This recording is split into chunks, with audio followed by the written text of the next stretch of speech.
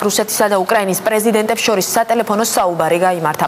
ვლადიმერ პუტინი და პეტრო პოროშენკო აღმოსავლეთ უკრაინაში ცეცხლის მუდმივ შეწყვეტაზე შეთანხმდნენ. ამის შესახებ უკრაინის პრეზიდენტის პრესსამსახური იუწყება კრემლის ვებგვერდზე გავრცელებულ განცხადებაში ცეცხლის შეწყვეტის შესახებ მიღებული შეთანხმება ნახსენები არ არის. აღმოსავლეთ უკრაინაში კი საბრძოლო მოქმედებები გრძელდება. უკრაინული მხარის განცხადებით ლუგანსკის ოლქის სამხრეთ ნაწილს მთლიანად სეპარატისტები და რუსეთის შეიარაღებული ძალები აკონტროლებენ. ამ დრომდე მიმდინარეობს ბრძოლა დონეცკის სპორტისტვის. გუშინ მასზე კონტროლი უკრაინელმა სამხედროებმა დაიბრუნეს, თუმცა მოგვიანებით შეტაკებები ისევ განახლდა, რასაც სამი მშვიდობიანი მოქალაქე ემსხვერპლა. პენტაგონის განცხადებით უკრაინის საზღვართან ამ დროისთვის 10000 რუსი სამხედროა მობილიზებული. დღესვე ცნობილი გახდა, რომ დონეცკის ოლქში სააგენტო რასია სივონიას ფოტოკორესპონდენტი დაიღუპა. ანდრეი სტენინს ერთი თვის განმავლობაში ეძებდნენ.